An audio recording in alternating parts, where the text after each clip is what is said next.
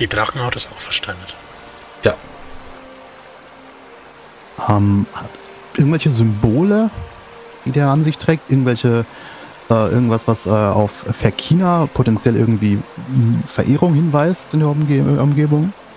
Äh, zumindest nicht an ihm, nein. Also du siehst, ähm, du kannst mal Fährten lesen würfeln. Das kannst du auf alle Fälle machen. Ähm, aber ihr könnt dann näher und näher kommen und äh, es gibt hier auch sowas wie ja, Zivilisation, die da gewesen ist. Vor allem äh, steht da wohl schon seit längerer Zeit, denn eine große äh, ja, hölzerne Brücke oder Steg führt dann eben auch über Umwege zu ihm, äh, sodass man da dann nicht in diesen ähm, leichten Morast treten müsste, wenn ihr dann näher kommt. Das Ding ist wirklich gewaltig.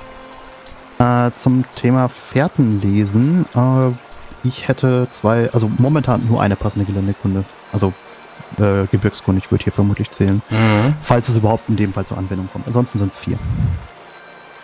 Also du siehst ähm, Spuren von Zivilisation, die hier wohl war und die den auch erkannt hat, aber keine Verehrung, ähm, keine, äh, keine Opfergaben, die ihm gebracht worden sind, ähm, auch kein Blut, was hier drumherum verteilt liegt. Ähm, aber du siehst relativ frische Spuren, die wohl von barfüßigen Menschen äh, vor kurzer Zeit getätigt worden sind.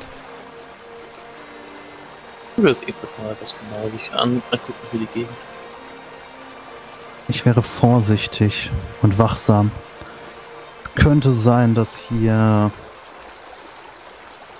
vermutlich Verkina, aber es wäre möglich, dass sich hier welche rumtreiben. Die reagieren für gewöhnlich eher ungehalten auf Gäste.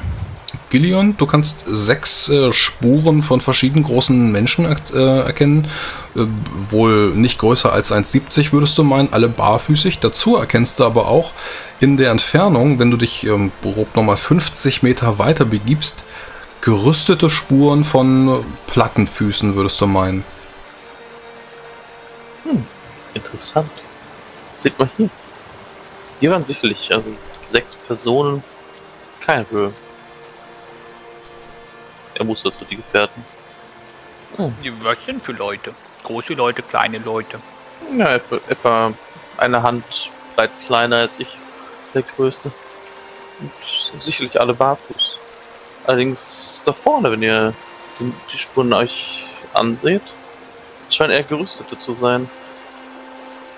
Also meinst du so, meinst du so, so, so, so, so einen richtig großen Ritter oder so, so oder sowas wie er? Ich zeig mal auf den Piraten.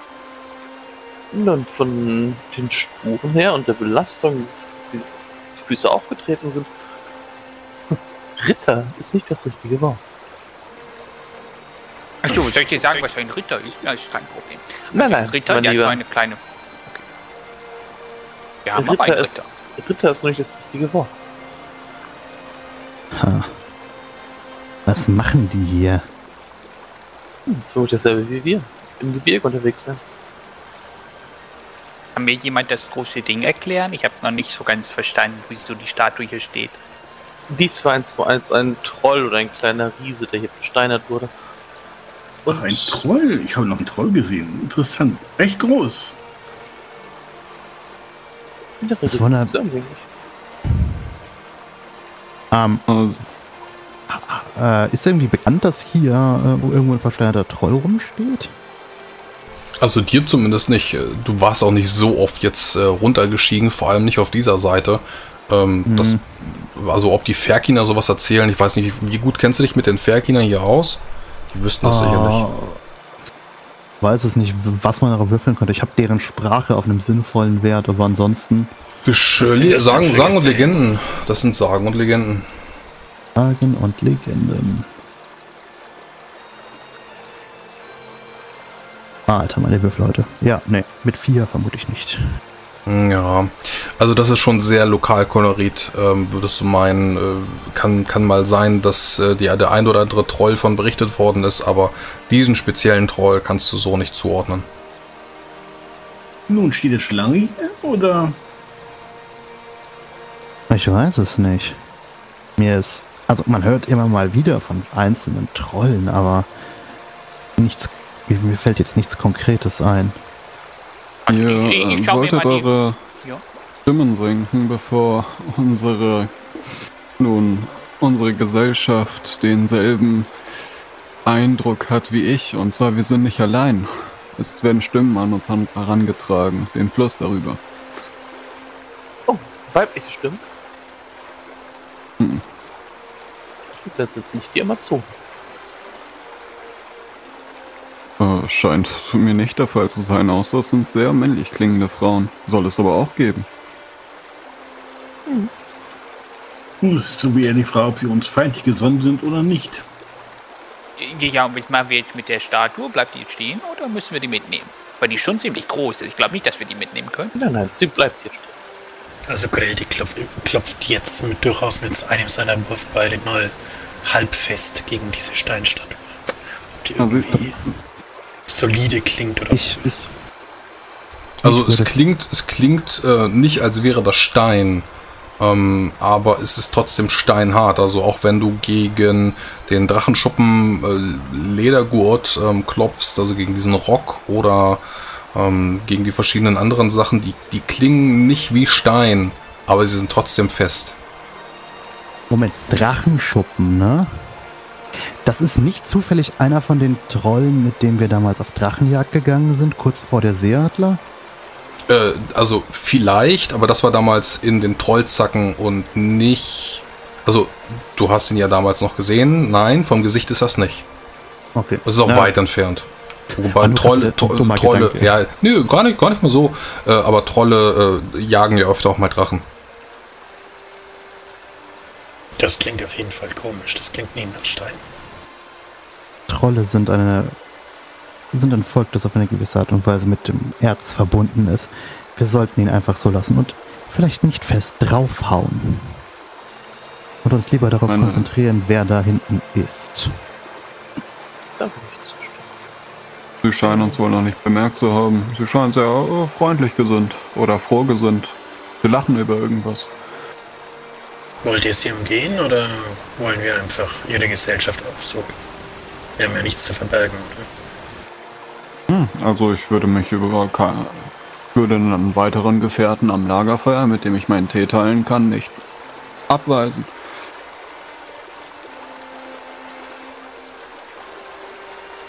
Hat jemand die Möglichkeit, sie zu orten oder zu, zu beobachten auf größere Distanz? Ja, wenn ihr möchtet, kann ich mal eben dahin laufen und mir die angucken. Sie sind auf der anderen Seite des Fluss, Rogel. Du würdest dich nass machen und vielleicht mitgerissen werden. Oder, äh, ach, äh, du bist ja ein Goblin, Auserwählter oder sowas, hatte ich gehört. Du hast da bestimmt deine Möglichkeiten. Ja, ich würde nach der Furt suchen. Ist bestimmt irgendwo eine. Äh, sag Kasim, äh, ihr sagte, diese äh, Barbaren dieser Gegend nannt ihr sie, sind sie feindlich oder eher freundlich gesonnen gegenüber Wandernden? Es kommt darauf an, wie die Wandernden ihnen gegenüber auftreten. Als Barbaren lassen sie sich ungern zeichnen. Ah, es ist ein Volk mit einer uralten Tradition und einer ausgeprägten Kultur.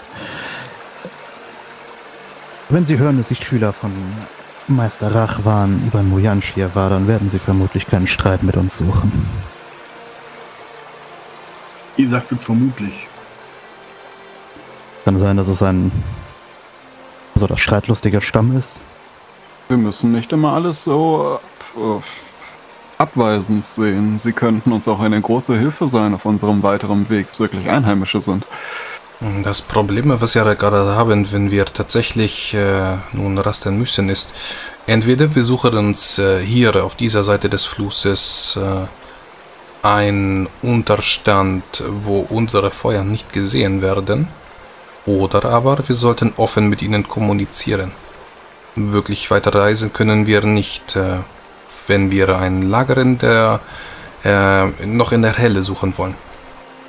Wir müssen uns also entscheiden, was wir tun wollen.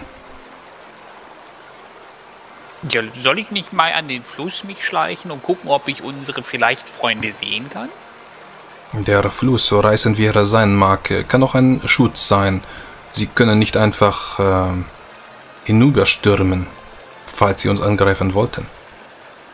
Na, nun, wenn ich mir diese Felsausbuchtung hier so anschaue, abgesehen von diesem Troll, der ein wenig beunruhigend wirkt, wäre hier doch durchaus ein, ein angemessener Lagerplatz. Die Felsen sollten uns Windschutz und Sichtschutz bieten. Man könnte hier durchaus ein Lager aufschlagen. Und wir können noch ein Stück weiter gehen. Wir sollten kein Risiko eingehen, vielleicht. Und hier äh, übernachten. Ich denke auch, dass diese Bei Stelle Troll? brauchbar wäre. Ja gut, jetzt, wenn wir jetzt hier übernachten, dann gehe ich jetzt Feuerholz sammeln, weil ich glaube, es wird kalt. Äh, ich will euch gerne helfen. Nee, den- will, ich will mir diesen Platz erstmal genauer angucken. Warte. Okay, ich gehe schon mal Lust sammeln. Bin gleich wieder da. Zu Komm, zweit. Nur zu zweit. Gut. Ich gucke mir den Troll mal mit einem Odem an. Okay, Gillion ähm, möchte den Lagerplatz bestimmen und die anderen möchten Feuerholz sammeln. Dann Qualität des Lagerplatzes, Probe Wildnisleben, Probe. Es ist bereits dunkel. Nein, je nach Region. Hochgebirge plus 4. Ähm, hast du eine Geländemodifikation Gebirge? Ich habe Gebirgskunde. Ausgezeichnet. Das ist eine minus 3, trotzdem kriegst du eine plus 4. Dann bist du bei einer plus 1 zurzeit. Ähm, du beginnst eine Stunde vor Sonnenuntergang. Minus 3, ja, das passt. Du hast die Geländekunde, minus 3 hattest du schon. Äh, andere Helden äh, helfen dir suchen, aktuell nicht. Äh, die, die sammeln halt Feuerholz. Ich, ich helfe ihm, wenn ich mit dem Odem fertig bin. Geht du bist, mit, nee, du bist jetzt mit deinem Odem dabei. Die Helden Okay. werden verfolgt oder müssen auf Geheimhaltung achten. Plus 5. Aktuell wolltet ihr eher geheim bleiben, korrekt? Mhm. Genau, also dann sind wir bei einer plus 1 waren wir eben. Äh, minus 3 sind wir plus 2. Nee, Moment. Minus, minus zwei. Minus dann noch 2 mal und dann fünf. plus 5 sind wir dann bei der plus 3. So, das heißt, von deinen 11 Sternchen bleiben 8 übrig. Dann kannst du dir von diesen schönen Modifikatoren noch äh, 8 Stück aussuchen. Nahrungsversorgung, Ungeziefer und Insekten, äh, versteckt und blickgeschützt, windgeschützt oder nicht. Ähm, ebenen Untergrund darfst du nicht nehmen, den, äh, den bekommst du hier nicht, aber alles andere könntest du nochmal machen. Der individuelle Schlafplatz muss für alle bestimmt werden, aber mit den acht Sternchen könntest du dir dann die acht äh, Sachen aussuchen. Also zum Beispiel Jagdgebiet von Raubtieren wäre es dann nicht, wenn du es dann auf das Grüne ziehst. Hier. Oder Kann man Odem mit Zeit lassen auf den Troll. Da bin ich jetzt neugierig. Ja, der Troll ist äh, leicht magisch. Also eben der Untergrund fällt hier eh flach. Genau, ebener Untergrund darfst du nicht nehmen, alle anderen dürftest du nehmen. Hast da acht Sachen zur Verfügung. Das sind eins, zwei, drei, vier, drei Stück kriegst du nicht. Was sagt die Wettervorhersage? Ähm, äh, Wettervorsage hattest du noch nicht gewürfelt, ne?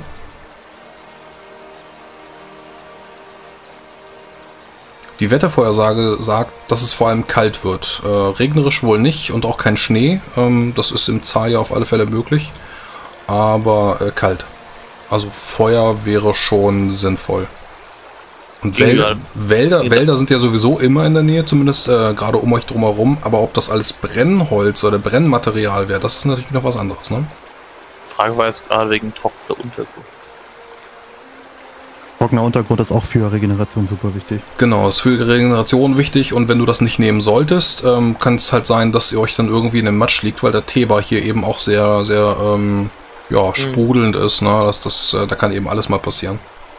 Ja, wir trockener Untergrund auf jeden Fall schon mal einmal nehmen.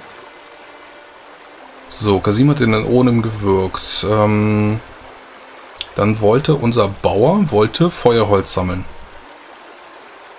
Dann gib mir mal eine. Äh, der Prayo, du komm mit? Ja, klar, wir immer zu zweit immer. Okay, dann gib mir mal noch eine Wildnislebenprobe. Okay. Und danach eine Sinnesschärfe. In welche Richtung geht ihr? Äh, Die Richtung, in die ich uns gezogen habe. Äh, nach hier. Nach links weg, alles klar.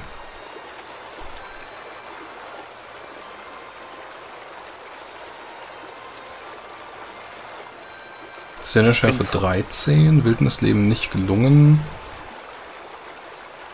aber die Wildnislebenprobe von Haldan ist gelungen. Und dann kann äh, Priodur ähm, Haldan dabei zusehen, wie er Feuerholz um Feuerholz aufklaubt ähm, und das dann eben zusammenrafft, während ähm, du dir dann wohl auch so ein bisschen die Spuren ansiehst, die dir der Druide schon gezeigt, ja, Druide schon gezeigt hatte. Und zwar von den Gerüsteten. Er sagte wohl Amazonen. Das sieht er wohl am Gang. Das kannst du gerade nicht ganz nachvollziehen. Aber wenn du äh, so ein bisschen über den Teber hinüberblickst, der dann hier wohl abzweigt, kannst du äh, weitere Spuren erkennen und äh, siehst da wohl. Vor allem hörst du was. Vor allem hörst du jetzt auch weitere Stimmen. Oben, du, du siehst sie noch nicht genau, aber oben ähm, auf den höheren Klippen unterhalten sich wohl sehr leise, das durch das Rauschen mit dem Fluss ist das fast gar nicht zu hören, aber unterhalten sich wohl sehr leise auch mehrere Frauen. Oh, hier ist wohl Weibsvolk anwesend. Du sollst, die, du sollst die Stöcke aufheben, sonst hast du kein Feuerholz in der Hand, Prio. Das hab ich dir doch schon gezeigt. Ja, ja, du machst das schon sehr gut. Äh, dort dieser dicke Stock, aber äh, ich höre Frauenstimme. Hier scheint wirklich Amazon unterwegs zu sein. Ja, wo denn? Äh, Dort oben. Ich hörte sie nicht? Also da meinst du? Ich zeig mal in die Richtung. Hm, So über den Fluss drüber. War es die- Richtung? Glaub, ja. Ja, genau, über den Fluss rüber. Äh, dort drüben wohl, ja, genau. Äh, Vielleicht sollten wir äh, etwa uns beeilen. Ich, ich weiß nicht, ob sie uns vorgesonnen sind. Warte, ich habe eine gute Idee. Halt mal das Feuerholz. Ah, leg's, leg's doch hier hin. Ja, bin. Okay, ich leg's auf den Boden. Ich ähm, gehe da vorne auf den Baum klettern und dann kann ich euch sagen, was das für Leute sind. Aber, aber fallt nicht runter. Ich bin schon auf Bäume geklettert, also wirklich. Also, damals im Dorf bin ich auf Bäume geklettert, auf dem Feld bin ich auf Bäume geklettert. Ich möchte den Baum hochklettern. Dann, ja, Kletternprobe plus 3. Na, wobei, Kletternprobe plus minus 0. Kannst jetzt natürlich auch noch dein Klettergeschirr rausholen. Nein, sie, wüsste ich nicht, warum man das machen soll. Das wüsste ich jetzt nämlich auch nicht. Plus minus 0 ist es dann geschafft. Du hast dann THW von 10 sogar drin. Krass. Kann klettern. Und äh, wenn du dann höher und höher steigst, äh, auch äh, ja, relativ nach oben, es dauert ein bisschen länger. Du kannst auf der anderen Flussseite, und zwar nach Norden hin, kannst du Zelte sehen. Drei Stück, ein prasselndes Lagerfeuer und so ein paar Vorräte, die da stehen. Ähm, sechs Personen, die sehr wild aussehen, sechs Ferkinas, äh, die sich da wohl bei äh, ein bisschen Alkohol unterhalten. Eine Ziege, die da wohl irgendwo noch angebunden ist und ähm, ja, die haben gute Laune und auf der linken Seite von dir nach Westen raus siehst du Amazon und zwar äh, sechs, sieben, sieben Stück. Ähm, es sind wohl auch ein paar Pferde dabei, zwei, drei Stück. Ähm, die sind aber auch gerade nicht, ähm, die sind nur angebunden. Und die Amazonen sind gerüstet und blicken ebenso wie du es eben getan hast, über den Fluss hinüber zum Lager der Ferkiner.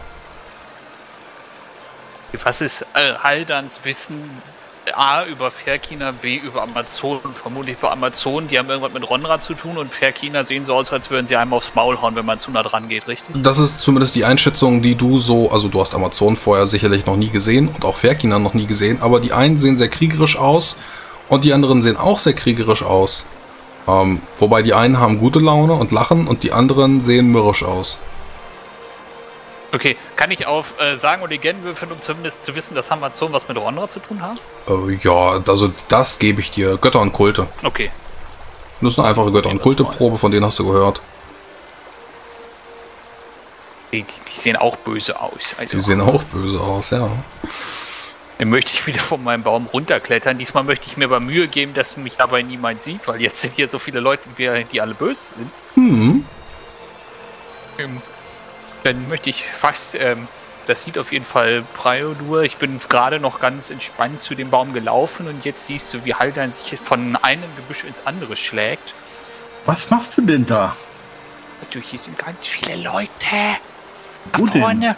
Also deine, deine Damen, ähm, die haben alle, also die sehen alle sehr trainiert aus. Ich glaube, die, die, ähm, die kämpfen ganz viel. Also die sehen aus wie Krieger. Ah. Amazonen, also wirklich. Und- Und gibt sie und- wirklich. Und da vorne sind die anderen. Die ähm, sind ganz groß. Die sehen auch aus wie Krieger und die trinken gerade. Die, ich glaube, da sollten wir uns vorstellen. Die sind nett. Also die sehen netter aus als die Amma, Amazonen. Amazon. Äh, Also Rondras Vierten. die, ach so, ja, dann sind das vielleicht doch die Guten, weil Amoronda ist ja schon was Gutes. Also ich glaube, die einen ähm, mögen die anderen nicht. Ich weiß aber nicht warum. Ich glaube auch nicht, dass die wissen, dass die da sind. Vielleicht sollten wir uns in diese Belange nicht einmischen. Das kann nur schief gehen. Naja, also wenn das Rondras Freunde sind, dann sollten wir schon mit Rond... Also Rondras Freunde ist ja schon was Gutes. Nun ja. Ja, grundsätzlich ja. Äh, wie wäre es, wenn ihr diesen Feuer, Stapel Feuerholz aufnehmt und wir gehen zum Lager zurück?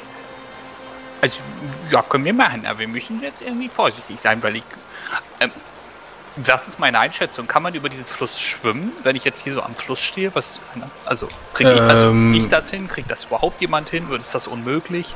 Also das ist möglich, wohl weniger schwimmen. Schwimmen wird sehr, sehr brutal. Aber du kannst eine Furt durchqueren, selbstverständlich. Und zwar zu Fuß. Ähm, das ist äh, schon schwierig, das ist eine Körperbeherrschungsprobe, ähm, die pro 10 Schritt abgelegt werden muss. Also wenn die, wenn die Furt ein bisschen größer wird. Und das kommt ein bisschen drauf an, wie ist die Wassertiefe, wie ist die Strömung, wie ist die Beladung und wie ist der Untergrund. Aber ich würde jetzt zumindest den Leuten, die ich gesehen habe, das körperlich erstmal zutrauen. Also die sahen körperlich alle so fähig aus, die könnten das schaffen. Die könnten das schaffen. Ihr könntet das sicherlich auch schaffen an der richtigen Stelle. Ähm, der Fluss hat ja auch verschiedene Strömungsstärken. Ähm, das ist kein Hindernis. Zumindest kein großes Hindernis. Aber es wird euch Zeit geben, sollten die kommen. Oder ähm, auch. solltet ihr kommen. Genau. Ja, also Prioduren, also siehst du da vorne, da wo das Wasser so schnell ist, da sollst du nicht rübergehen. Du musst da vorne, weißt du, da wo das Wasser nicht so schnell ist, siehst du das? Mhm. Da. Wenn du da lang gehst, dann kannst du durch den Fluss gehen.